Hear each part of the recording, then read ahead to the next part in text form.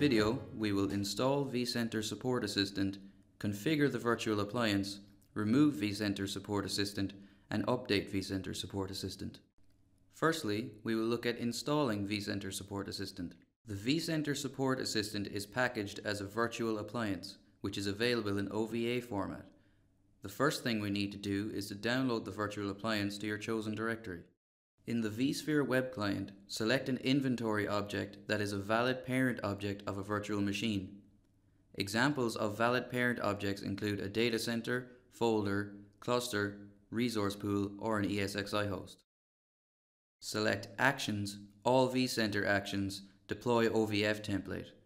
For more information on deploying OVF templates, see the vSphere Virtual Machine Administration Guide. Type the path or the URL to the OVA file and click Next.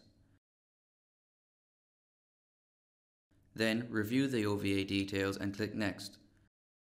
Read through and accept the EULA and again click Next. When we come to the step where we must select the name and folder of the deploy OVF template, specify the name of the virtual machine and the folder where the virtual machine is located when deployed.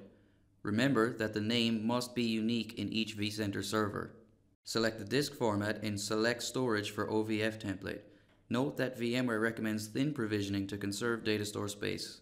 Select the data store for the OVF template and click Next.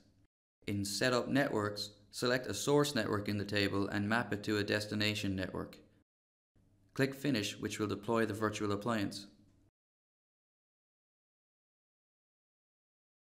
Power on vCenter Support Assistant and open the Virtual Appliance console. Navigate to the new Support Assistant's virtual machine URL using a web browser. Note that the URL for the configuration interface is displayed in the console when a new Support Assistant virtual machine is deployed. Log into the configuration interface as root. Once you've read the privacy terms and conditions, select I understand and consent to vCenter Support Assistant's privacy terms and conditions and click Next. Provide the lookup service address and review its certificate.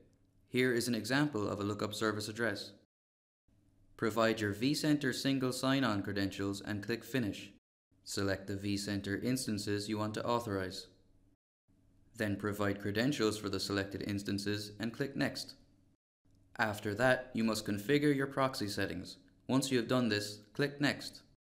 And finally, configure your email addresses and click Finish you will see the lookup service address and the status of vCenter server instances in the overview page. Now we will look at removing vCenter Support Assistant. To do this, navigate to the configuration interface and select Overview. Click Uninstall, then OK. Now we will look at updating vCenter Support Assistant. Note that this procedure cannot be used to upgrade from vCenter Support Assistant 5.1.1. To upgrade from that version, see Knowledge Base article 2042454. To update vCenter Support Assistant, navigate to Configuring the Virtual Appliance and then into VA Updates. To see a list of all updates, click Check Updates. If there are any available updates, click Install. Read the EULA and click Accept to install the updates. This concludes our look at installing, upgrading and uninstalling VMware vCenter Support Assistant 5.5. For more tutorials, subscribe to the VMware KB YouTube channel and our blog. Thank you for choosing VMware.